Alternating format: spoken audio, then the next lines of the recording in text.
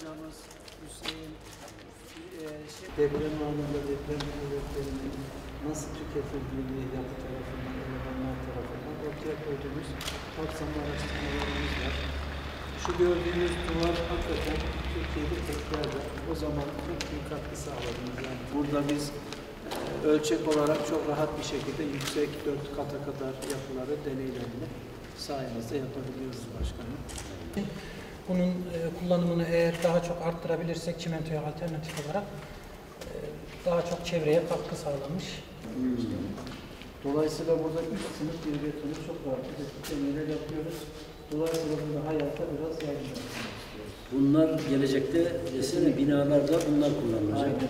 Ee, elimizden geleni yapmaya çalışıyoruz hocam. Yani e, gerek güçlendirme, gerek onarım, gerek işte böyle hocamın e, bahsettiği gibi yeni nesil e, malzemeler noktasında. E, benim de bir tamamladığım e, kısa kolonların güçlendirilmesine ilişkin bir e, TÜBİTAK projem var. Onun sonuç raporunu verdim, tamamladım. E, şu an e, hala hazırda e, süren betondan daha esnek e, davranış gösteren e, tasarlanmış çimen, çimento e, esaslı kompozit ECC diye kısa, kısaltılıyor. Onunla ilgili e, bir takım kiriş çalışmalarım oldu. Ki burada yapılan aslında başkanım özellikle binaların deprem anında kısa kolona bağlı görmüş olduğu istenmeyen hasarları çözmek için geliştirdiği bir TÜBİTAK projesi aslında. Sonuçları da yönetmeliğe de katkı sağlayacak sevi- seviyede çıktı. Yeni bir çelik sönümleyicinin e, analitik numerik çalışmalarını yüksek lisans öğrencimle tamamladım. Bunun deneysel aşamalarını da bir proje aşamasına getirdik. Onun başvurusunu yapacağız. Betonarme yapıları çelik ve güçlendirmek adına ilk katkımız ne olabilir ona bakacağız. Son dönemdeki sismik izolatör, özellikle Cumhurbaşkanımızın da e, kamu binalarında bundan sonra sismik, sismik izolatör kullanımı noktasında biz bir e, firmayla birlikte argeleri tamamıyla biz üstlendik. Deprem Fatih olarak e, yerli bir sismik izolatör ürettik başkanım. Ürettik. Bütün deneyleri de burada yaptık. E, uluslararası e, patente sahip bir özelliklerde şu anda e, deneylerden de geçti. Şimdi e, Hüseyin benim doktora öğrencim başkanım. Bu izolatörün çok farklı tiplerini, özelliklerini araştırmak için deneylere de başlayacağız, devam edeceğiz. Sen de birkaç şöyle başkanım aktarmak isteyeceğin amaç olarak ne var o çalışmada biraz verirsen Amaç olarak hocam e, başkanım şöyle normalde işte kauçuk esaslı ve işte bizde bu kauçuk ve diğer e, sarkaç tiplerine, izolatör tiplerine eş olarak bir bilgili sistem yani şu anda ilgili e, üretim firmasının sahibiyle birlikte ilgili bir sistem olarak yeni bir izolatör testlerine tabi tutacağız. Burada da eksenellik altında sönümleme deprem enerjisi, deprem sönümleme kapasitesini yeni bir izolatör tipi olarak, deprem fatih olarak adlandırdığımız yeni bir e, izolatör tipinin deneylerini gerçekleştireceğiz. Yani burada amacımız e, başkanım deprem anında binaya verdiği kuvvetini yüz, verilen kuvveti yüzde kaç tükettiğini belirleyeceğiz ki şu anki deneylerimiz yüzde seksen yüzde doksanlara varan bir seviyeleri yakalamış durumda ve Sönümlendirme buraya bir çeşit.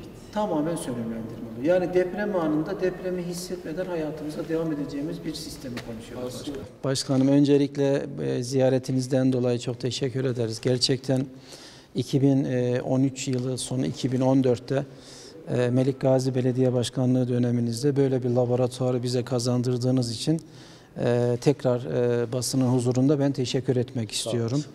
Geldiğimiz noktada tabii ki e, kırılmış olan 7.4 metre atılımlı bir e, kırık e, söz konusu olduğu için e, özellikle Pazarcık depremi ve e, Elbistan depreminden sonra Anadolu plakasının hareketinin e, bir miktar daha devam etmesi beklenilen bir sonuçtur ki biz bunlara artçı depremler diyoruz. Bu plaka üzerinde e, bulunan özellikle e, Erkilet fayı ve devamında e, son dönemde yaşadığımız depremlerin de bulunduğu Ecemiş fay zonundaki bu kırılmalar aslında tekrarlıyoruz, söylüyoruz. Sayın Valimiz de Sayın Başkanımız da çok güzel açıklamasını yapıyor. Hakikaten bu kırılmalar küçük depremlerdir. Çünkü bizim binalarımızda almış olduğumuz özellikle Kayseri şehrimiz için konuştuğumuzda 6.6-6.7'lik depremleri konuşuyoruz. Bu şu anlamı veriyor. Yaşadığımız depremler bizim bu binalarımız için aslında e, küçük depremlerdir. Ancak Biz şunu biliyoruz, vatandaşımız salınımlardan dolayı bir heyecan içerisindeler. Bir binanın kendisine gelen deprem kuvvetini tüketebilmesi için bu salınımların olması bir zaruriyettir.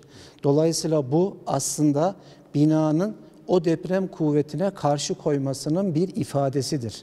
Onun için tabii ki biz hep şunu ifade ediyoruz. Ee, ya şehrimizde yaşayan vatandaşlarımız depremi daha önce böyle hissetmediler.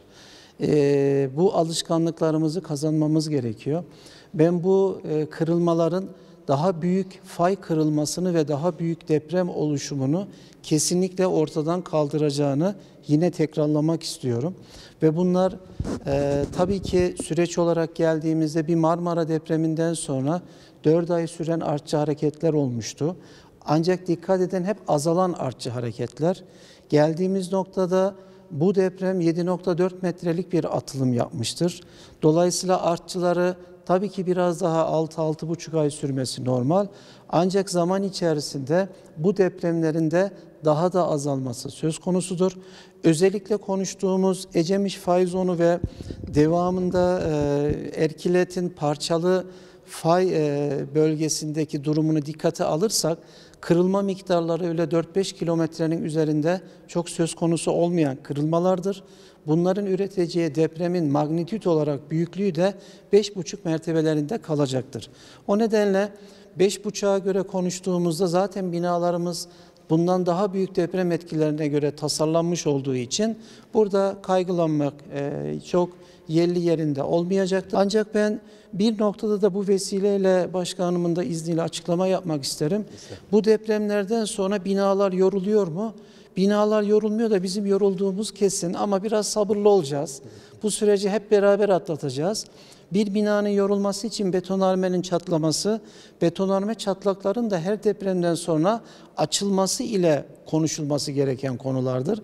Ancak incelenen yapılarda zaten bu seviyede özellikle son yönetmeliklere göre yapılmış ki buna 2000-2007 yılları yönetmeliklere yapılan binalarda çok rastlamıyoruz.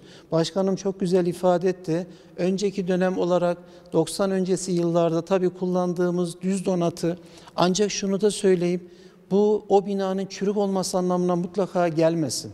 O binaların da eğer kaygılar varsa e, bir performans değerlendirmesi, inceleme yapılması ile en azından kafamızdaki kaygıların geçiştirilmesinin uygun olacağı kanaatindeyim. Ben şehrimize tekrardan geçmiş olsun dileklerimi iletiyor, saygılar sunuyorum. E, malum bu sabah 05.28'de yine Kayserimizde olan 4.9 ya da 4.8 olarak belirlenen bir deprem söz konusu oldu. Kimilerine göre artçı, kimilerine göre izole, e, bağımsız bir deprem. Ama sonuç itibariyle e, Karasaz diye bilinen Kayserimizin organize sanayimizin hemen devamında olan bölgede e, İncesu tarafında Saraycık e, ve Sarıkürk mahalleleri e, Hacılar tarafında da Hürmetçi Çiftliği gibi e, o bölgedeki yapıların ön plana çıktığı, ufak tefek hasarlarla ön plana çıktığı ama e, şehrimizin tamamında hissedildiği bir deprem. İster istemez 6 Şubat'tan beri herkes depremle oturuyor, depremle kalkıyor, depremle ilgili konuşmalar yapıyor.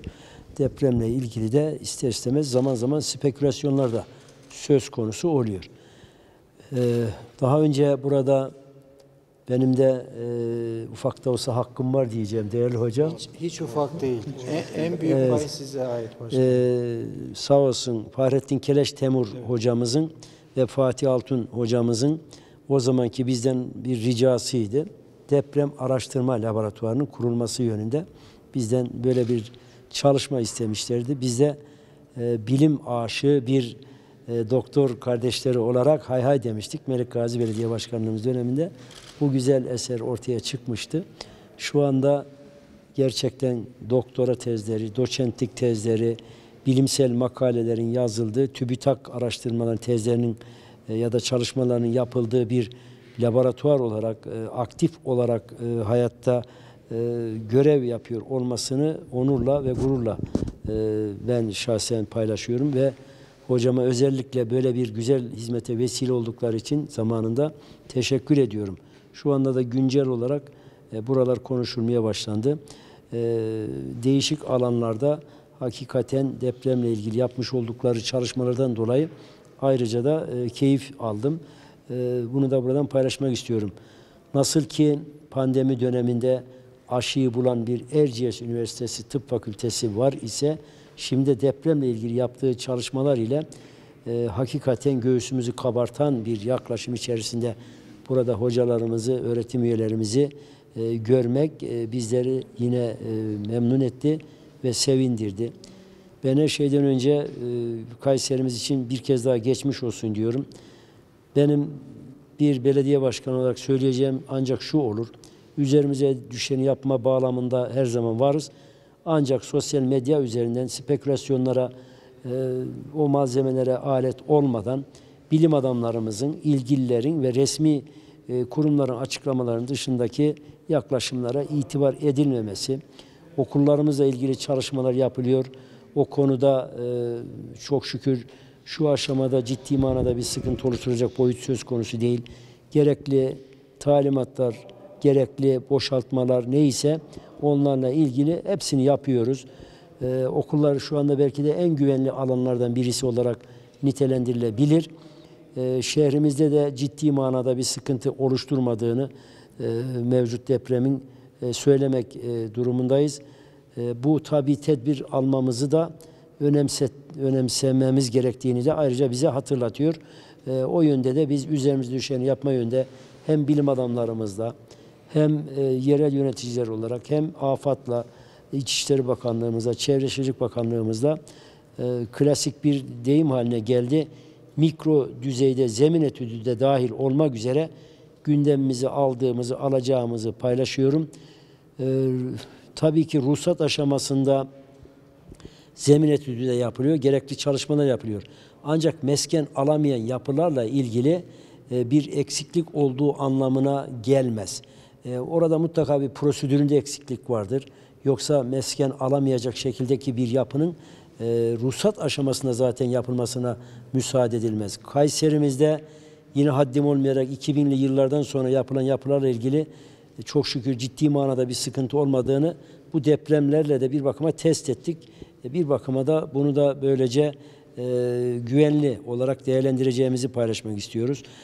Ağır hasarlı olarak tespit edilen yapılarımızla ilgili de daha çok 90 yılı öncesindeki yapılarla e, ilintili olduğunu da gözlemliyoruz. Kısacası üzerimize ne düşüyorsa yapma yönünde bilim adamlarımızla, kurum ve kuruluşlarımızla yapmaya özen gösteriyoruz. Tedirgin olmadan süreci beraber yönete, yönetelim, bilinçli olarak hareket edelim diyor. Ben e, her zamanki yapıcı yaklaşımından dolayı güvenilen bu alanda da en güvenilen isimlerden birisi olarak Fatih hocamıza ve kıymetli ekibine burada teşekkür ediyor. E, saygılarımı sunuyorum hocam.